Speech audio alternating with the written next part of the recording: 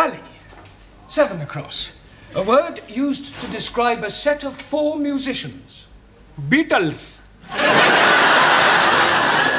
No, no, not a group, although the Beatles were one of these. Oh, blimey. If you have a cake and you cut it into four, you then have four. Pieces. Yeah, but what is each piece called? A slice. Water! Jolly good. Now, what do we call four musicians? Uh, anybody?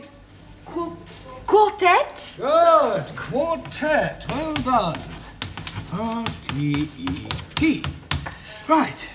Uh, Suli, eight across, to tell an untruth. To spread decadent Western propaganda about glorious